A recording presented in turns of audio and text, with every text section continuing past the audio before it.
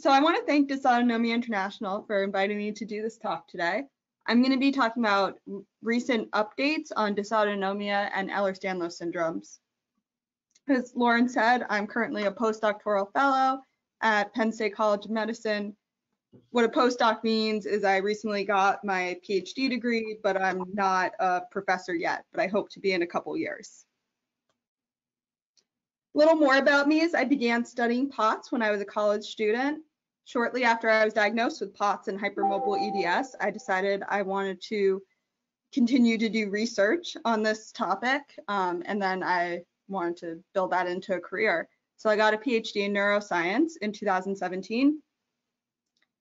Um, I study a few things besides POTS, mainly because there isn't enough funding to study POTS full time. But my POTS research focuses on mechanisms of cognitive impairment, vascular dysfunction, and connections between POTS and other comorbid conditions. I was invited to do this webinar because I recently published two papers on dysautonomia and Ehlers-Danlos syndrome in January 2020. The first paper is called Arterial Elasticity in Ehlers-Danlos syndromes. And this was published in a journal called Genes um, as part of a special issue on mechanisms of Ehlers-Danlos syndromes.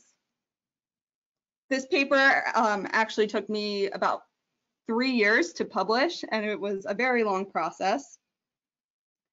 Um, the second paper was a study we did at the 2018 Dysautonomia International Conference.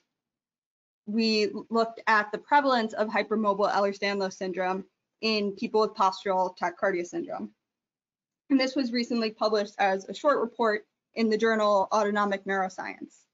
So the graphic um, on the right really shows how long it takes from starting a study to finish. I think it's sometimes hard to see as patients you think that research isn't moving fast enough.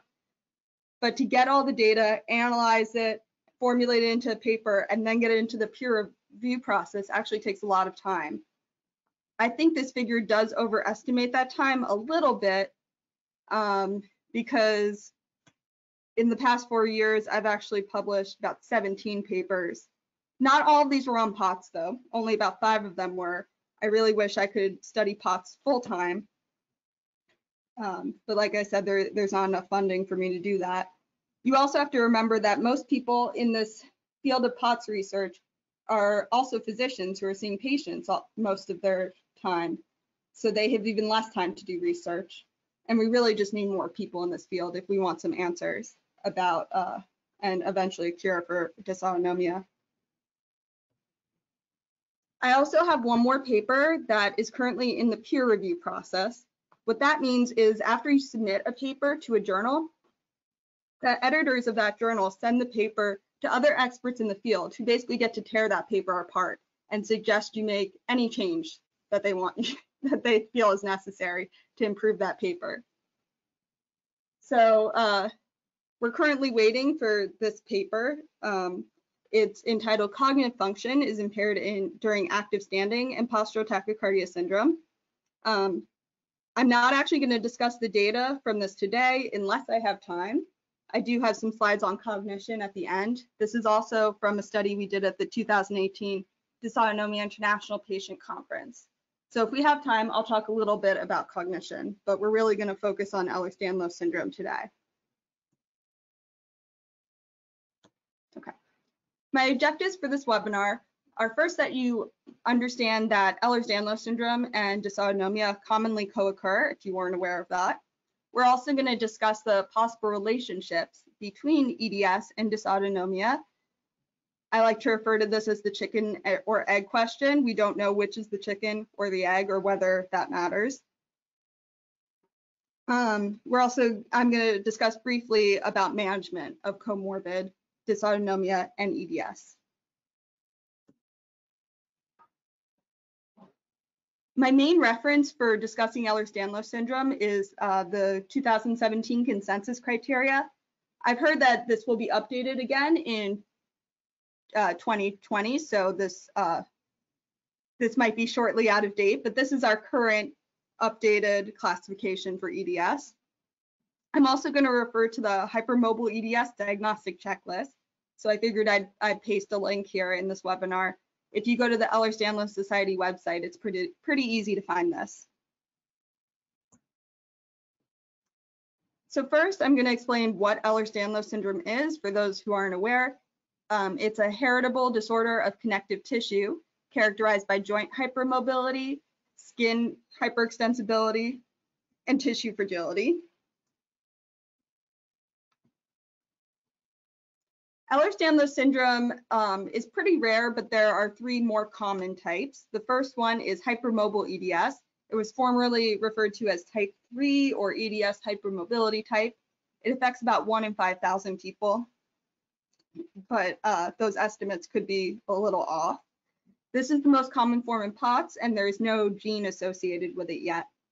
So this form is truly hereditary or inherited, um, but if there is a gene or genes, we haven't found them yet. The next form is classical EDS, which was formerly referred to as type 1 and 2 EDS. This affects about 1 in 20,000 people. And there are a few different genetic mutations associated with this form. Uh, but the most common one is mutation in the collagen 5A1 gene, which encodes for type 5 collagen. Then there's the vascular form of EDS, which is formerly referred to as type 4, which affects 1 in 50,000 to 1 in 200,000 people. The most common genetic mutation in this form is mutation in type 3 collagen. There are actually 14 types of EDS. The last time I presented this, there were 13 types. So there, there uh, more types are continuously being identified. And most of these, uh, these three common, more common types of EDS have an autosomal dominant inheritance pattern, which means that if a parent has EDS, their child has a 50% chance of also having it.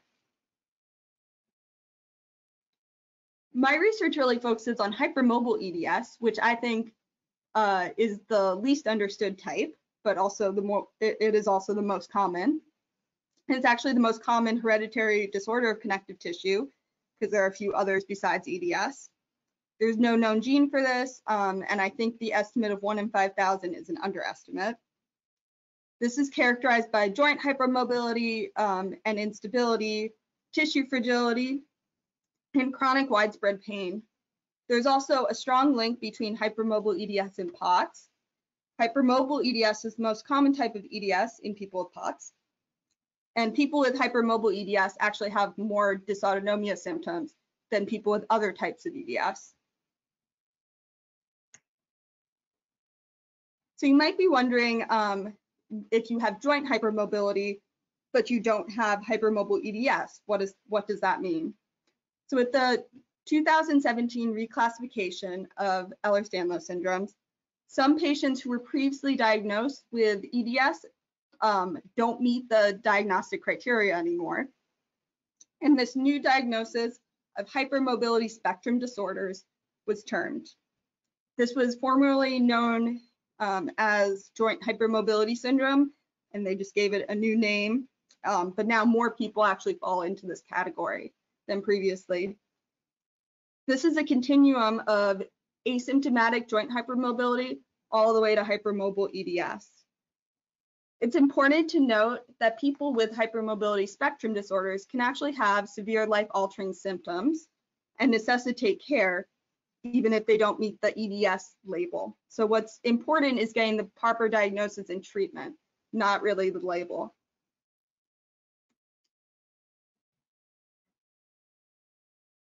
The overlap between POTS and EDS was actually published 20 years ago. Um, my former mentor, Dr. Rowe at Johns Hopkins, found that 12 out of 100 adolescents in his clinic for chronic fatigue syndrome and orthostatic intolerance also had EDS. So that was definitely more than the one in 5,000 in the population. Since then, there have been many other estimates.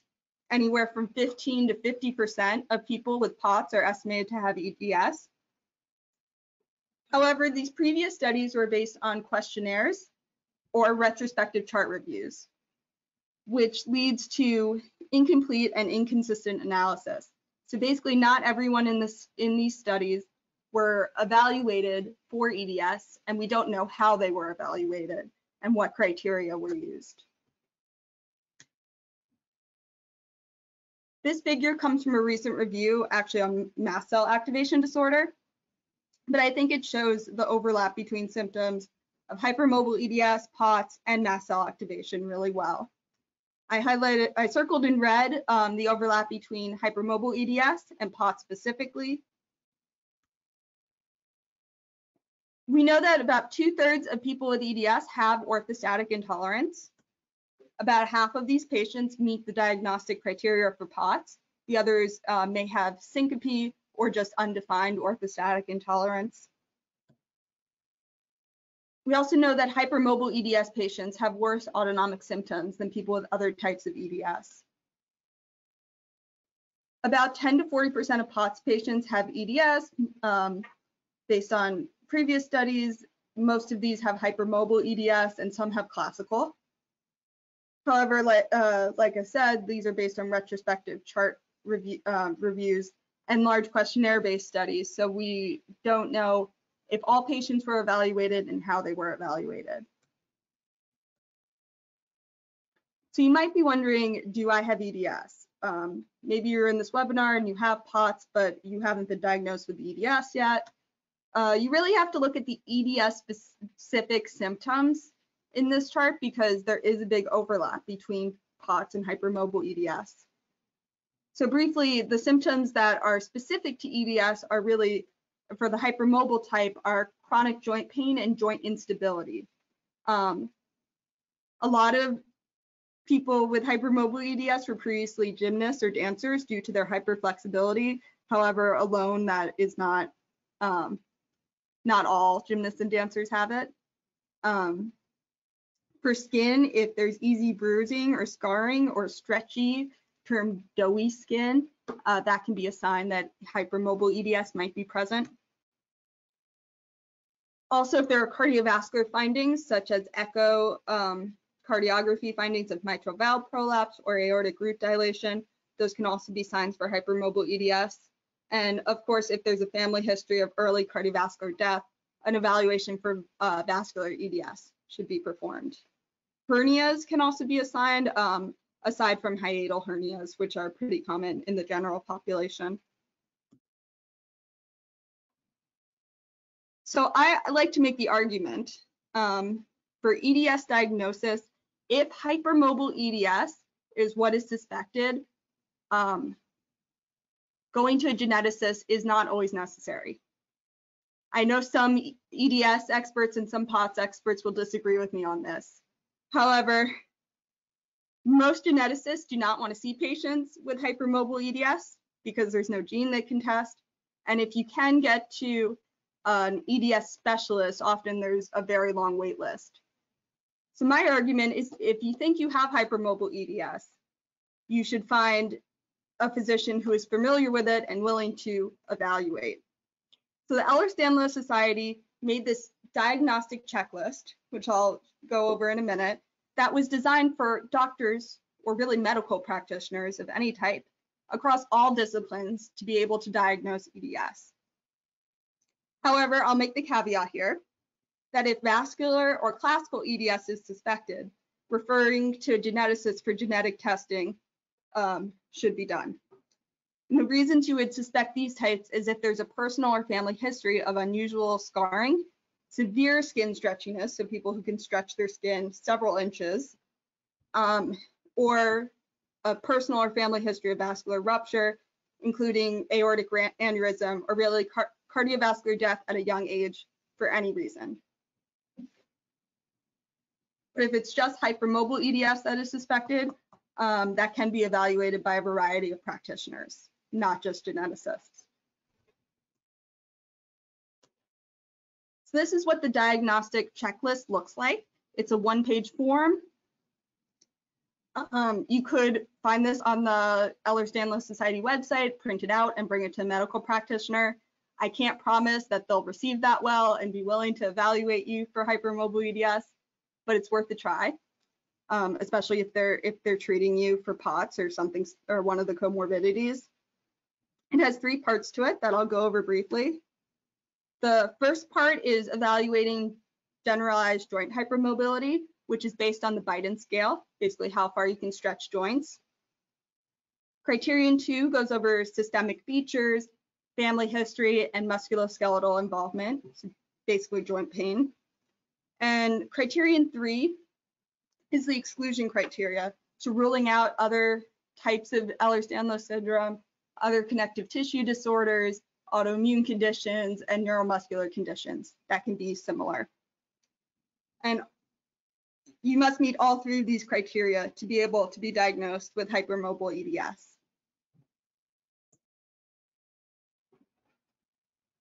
So these are some treatment considerations based on expert consensus and not very much data on POTS um, and EDS. I want to make it clear that I'm not a clinician. I do not see patients, and I don't have any experience with actually treating patients with POTS or EDS. However, these are some, some things I've heard at meetings for arguments for how people with EDS and dysautonomia should be treated a little bit differently in their care. So there's some data that EDS, uh, people with EDS might be more sensitive to side effects from pharmacological treatments. And this is especially true if they have mast cell activation syndrome or immune hypersensitivity. So even small doses of medications can have uh, more side effects in this population compared to most patients. There is a rumor that is based on no data that midodrine works well in EDS patients. I think this goes along with the leading theory that I'll get into in a bit that EDS causes stretchy veins um, that don't vasoconstrict well, and that's why people think midodrine works well.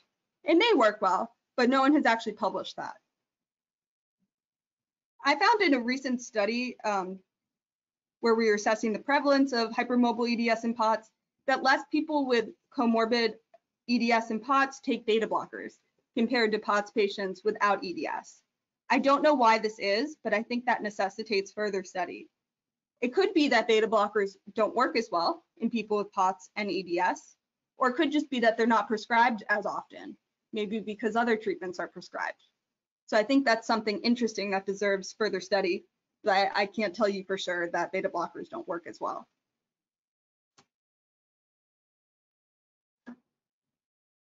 It's important in EDS to focus on movement. I like to refer to Newton's first law of physics here. I love physics. That's why I study physiology of the body. Uh, so bodies in motion stay in motion. So even if there's chronic pain and it's really hard to move, it's still important to keep moving so that you don't get deconditioned and the joints don't uh, get looser. We know that exercise is really important for dysautonomia, but exercises might have to be modified for people with EDS.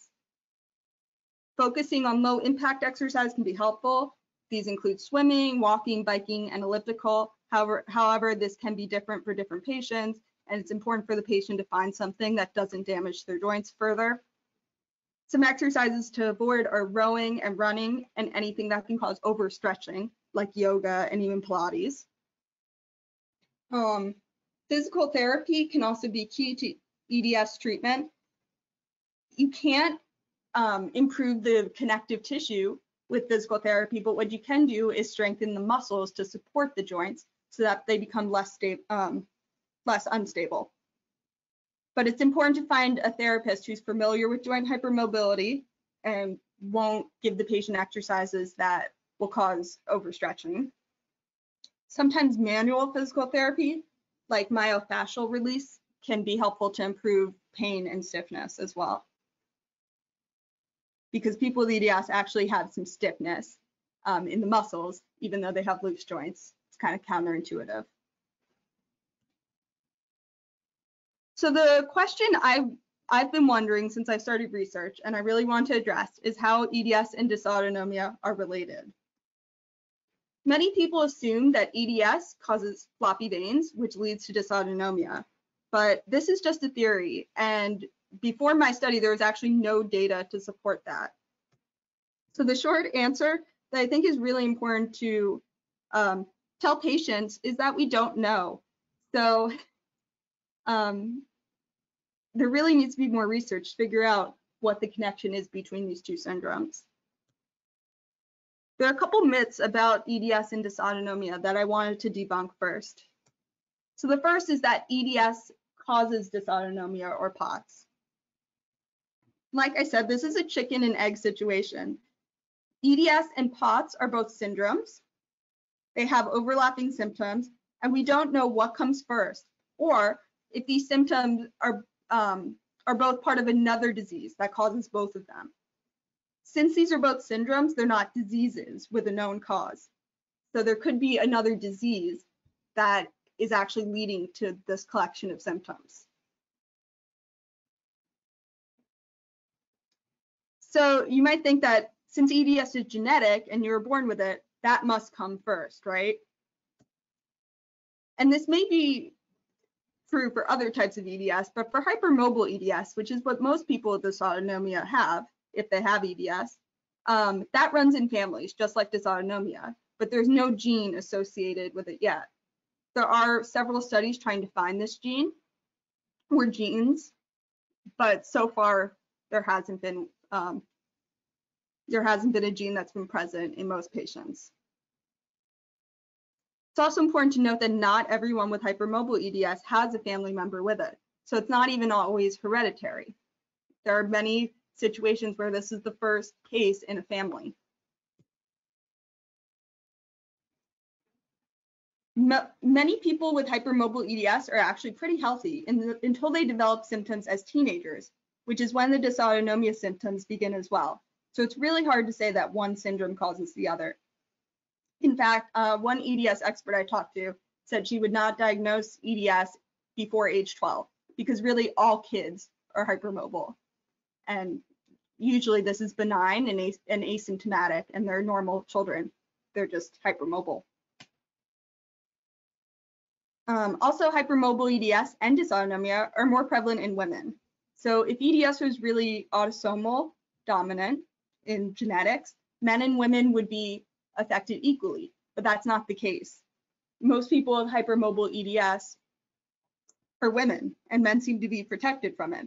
And there's probably a hormonal link be behind both of these synd syndromes and their underlying causes, but we don't know what that is yet.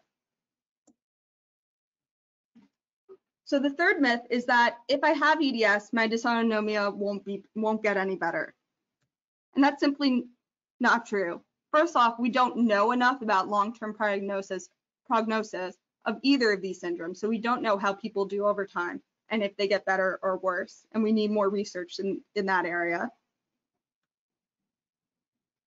People with EDS often respond to treatments for their dysautonomia, and people with EDS also often grow out of their dysautonomia, especially if they developed it as a teenager.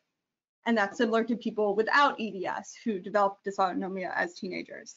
I'm an example of that as well. We also know that connective tissue stiffens with age, which might lead to symptomatic improvement in some patients for the dysautonomia and their EDS symptoms. There are several theories on the relationship between EDS and dysautonomia and why this exists. The first one is the most popular one, and this is that EDS dam damages the collagen that lines the arteries and the veins, which then makes those arteries and veins more floppy and leads to dysautonomia. The second is that the prevalence of autoimmune disease and small fiber neuropathy, which is autonomic nerve damage, um, is higher in EDS. There are a couple papers suggesting this, which could lead to dysautonomia.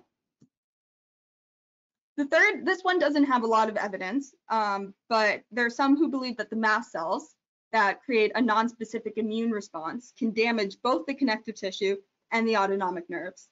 So it's possible that mast cell activation is mediating both of these syndromes, or maybe it's just another comorbidity. And the last one is that people with EDS have anxiety about standing, which leads to tachycardia and POTS. And yes, unfortunately, this is a published theory.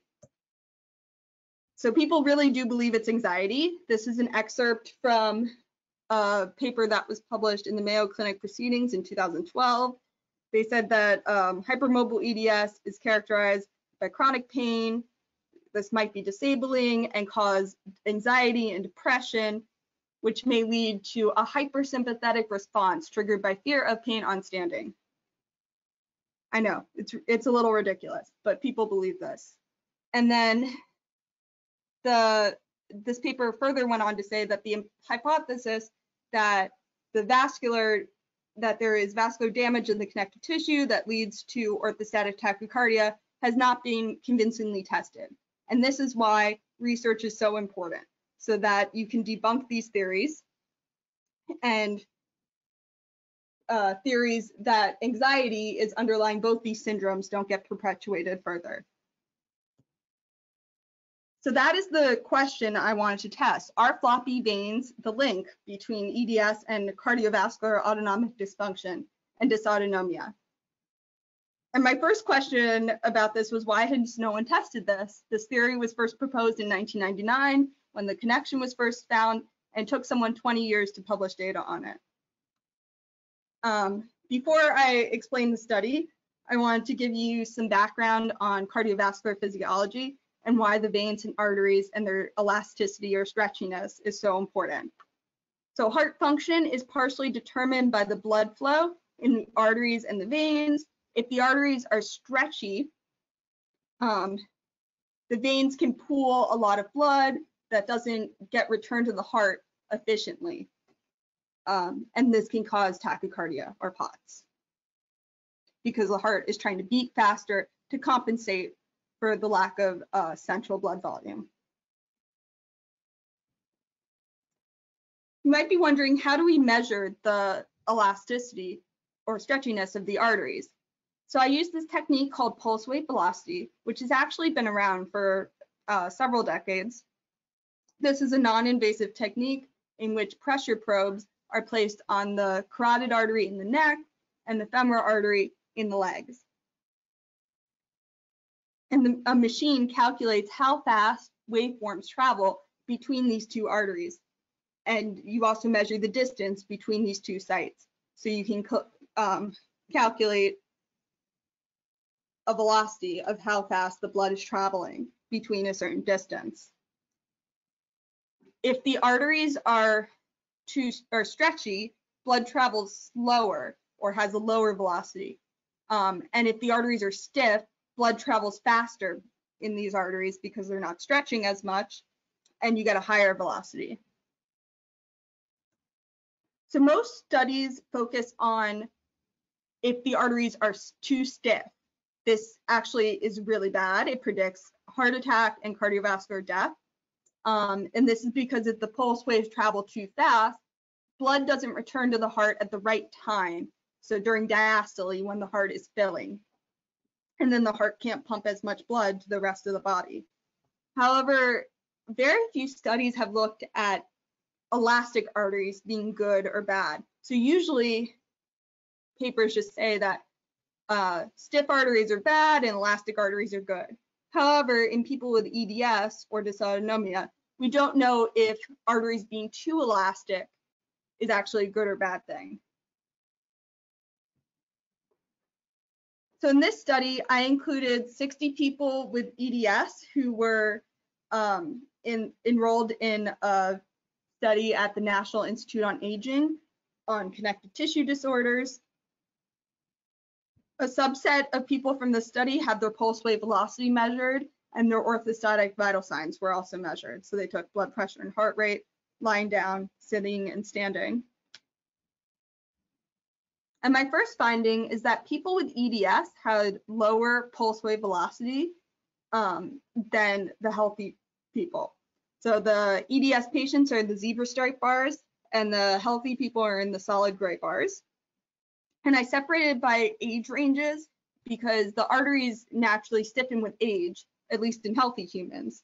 In EDS, there tends to be a slower rise in pulse wave velocity with age, so it's possible that uh, EDS patients are protected from this age-related stiffening of the arteries, um, but this could actually contribute to their symptoms as well, that the arteries are more elastic. This is actually the first evidence that arteries are more elastic in people with EDS. There were two previous studies in vascular EDS that showed that arteries were more elastic, but no one had tested this in hypermobile classical or other forms of EDS. I hypothesized that people with stretchier arteries would have more um, orthostatic hypotension or more orthostatic tachycardia because of that. However, that wasn't exactly the case. But what we did find is that people with more elastic arteries had lower blood pressure in lying down and seated postures. So it is possible that um, elastic arteries is part of the lower blood pressure observed in people with EDS. However, we can't assume causation here. This is just a correlation. And we did not see any change in the standing blood pressures and heart rate. My main conclusion from this study are that the arteries are more elastic in people with EDS uh, with all types compared to a healthy population. We also found that uh, more, the more stretchy the arteries are, the lower the blood pressure, um, but this does not predict orthostatic blood pressure or heart rate in any of the postures. And artery, arteries also might be uh, more elastic or stretchier in people with POTS without EDS, and that has not been studied, and I would like to investigate that further. So this phenomenon of arterial elasticity may not be unique to EDS. So I'm going to talk about my second study, which uh, we performed at the Dysautonomia International Conference in 2018. This study actually had two goals, and we use the acronym SCOPE, or Standing Cognition and Comorbidities of POTS Evaluation. So I'm just going to start uh, talk about the comorbidities evaluation, and maybe I'll talk about the cognition part in a future webinar. So the first goal was to uh, assess the prevalence of HED, HEDS, hypermobile EDS in POTS, based on the 2017 diagnostic criteria, which no one had done before. We thought that maybe with this new criteria, not as many POTS patients would fall into this um, hypermobile EDS category, since the criteria were made more stringent. Okay. So we enrolled uh, attendees at the 2018 conference who were previously diagnosed with POTS by a medical provider. We did not test them for POTS as part of the study.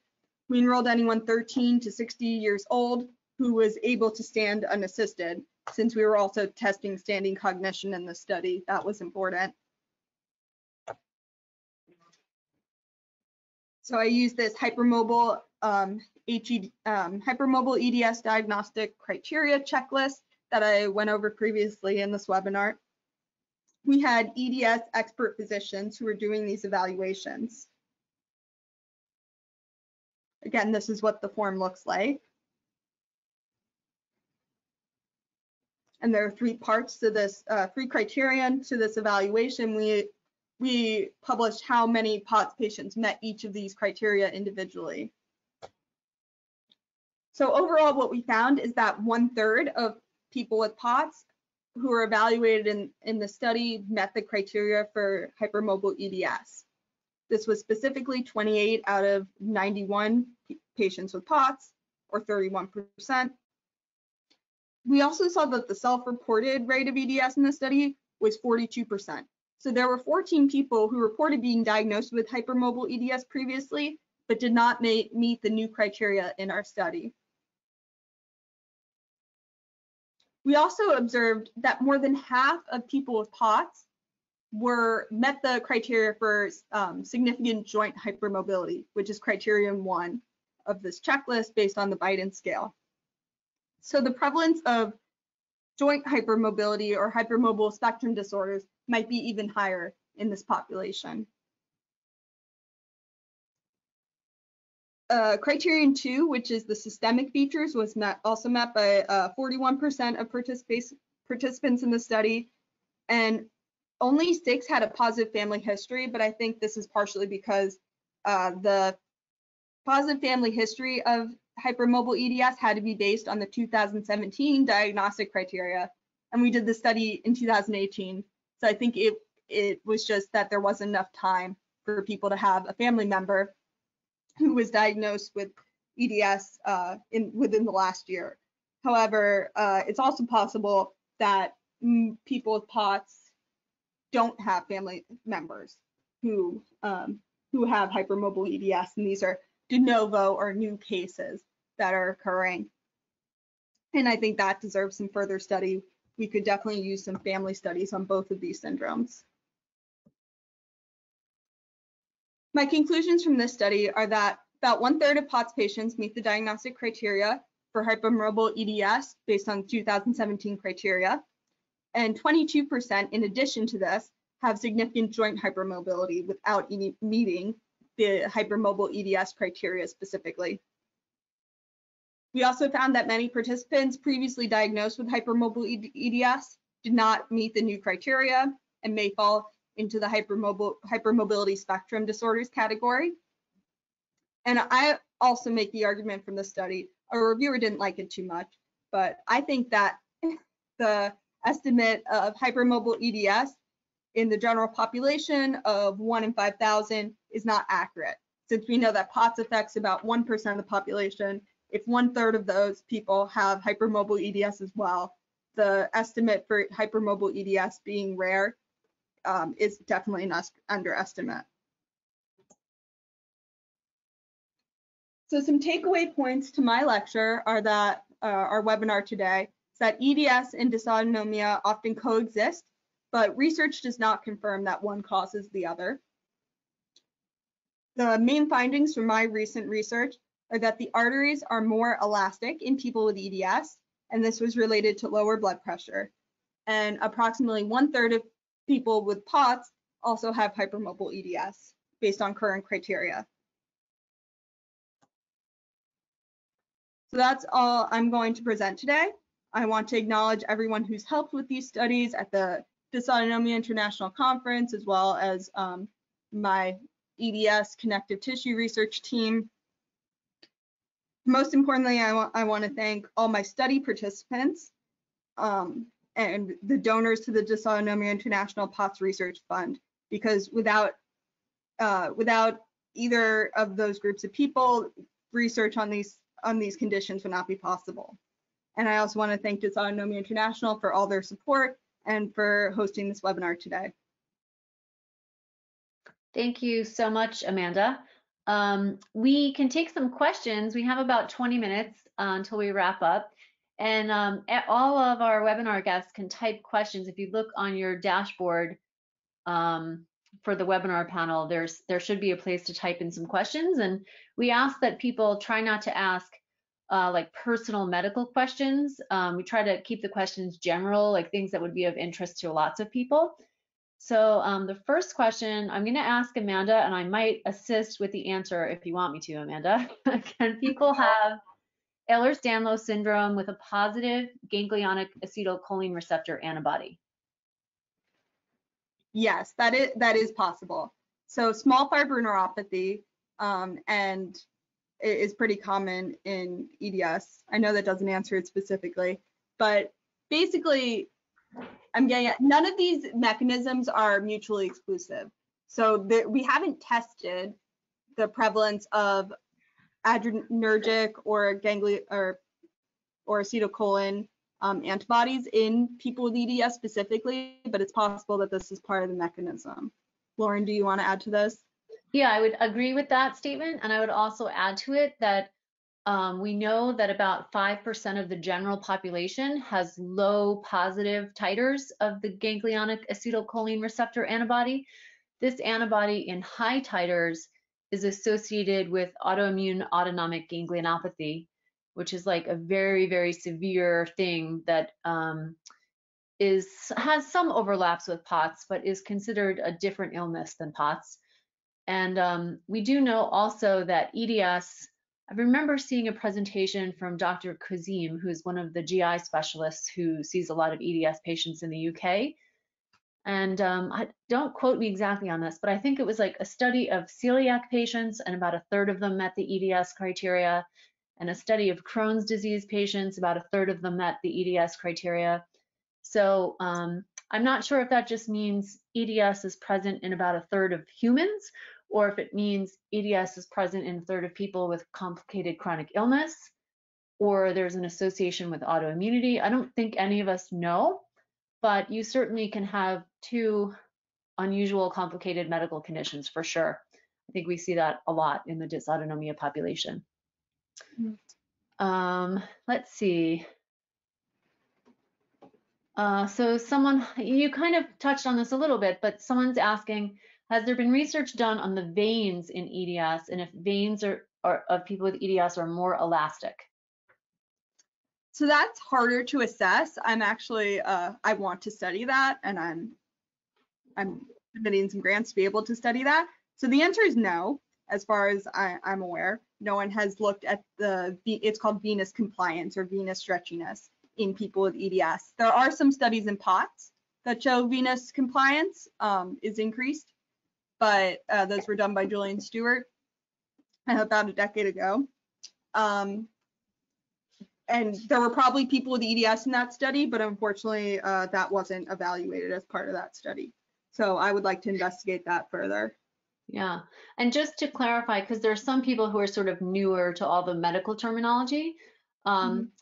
Some people use the word veins to mean all of the blood vessels. But Amanda, can you just really quickly clarify for people what's the difference between an artery and a, a vein?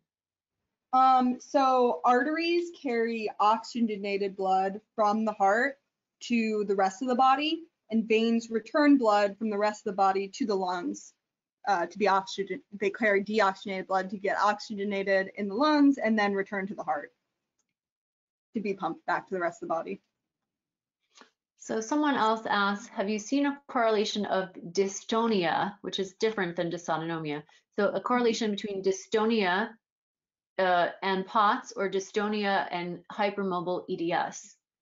So I can answer on the POTS question that we have heard of some patients having this, but we don't have any sort of population data to know is is this just background common in some people in the general public and a few POTS patients therefore have it, or is there any kind of relationship? So we don't have data on that. I don't know if Amanda knows offhand. I, I yeah. remember hearing something about dystonia and EDS, but I don't know if it's data or just sort of anecdotal patient conversations. Yeah, I definitely heard it come up in um, like in case reports with people with EDS. So I know uh, whoever is asking this, you're definitely not alone. I think it's it's uh, probably more common than we know, but I don't know of any any larger studies that have uh, yeah. looked at the rates. So Amanda, if you want to, we might have some time to talk about some cognitive stuff. We got a question. Uh, mm-hmm. As part of your research, have you found there to be cognitive impairments in patients with POTS and EDS?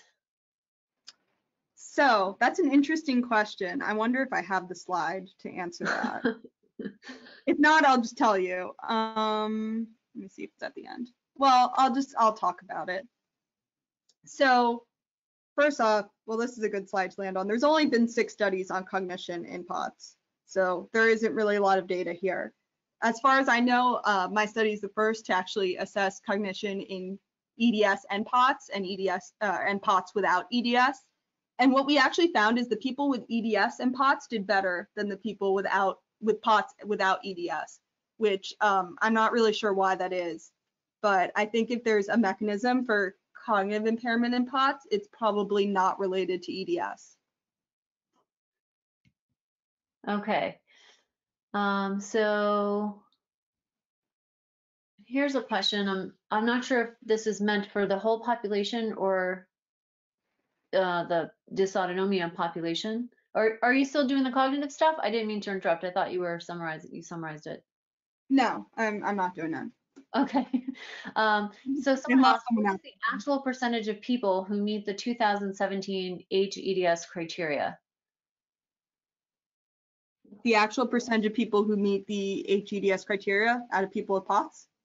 Uh, so this, um, the person asking the question didn't ask specific to POTS. Maybe they meant a percentage of the whole population, which I don't think we know, mm -hmm. um, because that would take a pretty large community study um, it would be great to see that. We really, you know, I think the best estimate we have on the old criteria was one in 5,000, right? Yes, but I'm not really sure what that, that was based on, and I think it was done several decades ago. Um, Um, So I don't think we know the, the prevalence, um, based on the 2017 criteria and the normal population. In this study, our study was the first one to look at it, uh, look at this criteria in POTS, and we found 31% of POTS patients, which is a little higher actually than some previous estimates of EDS in POTS, but it's, it's consistent with some of the studies. Right.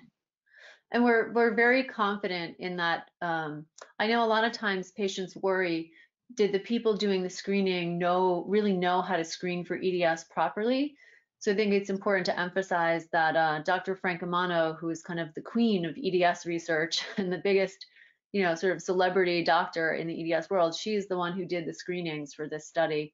So we're confident that that percentage is accurate for that study population that we looked at. Um, so here's a good question.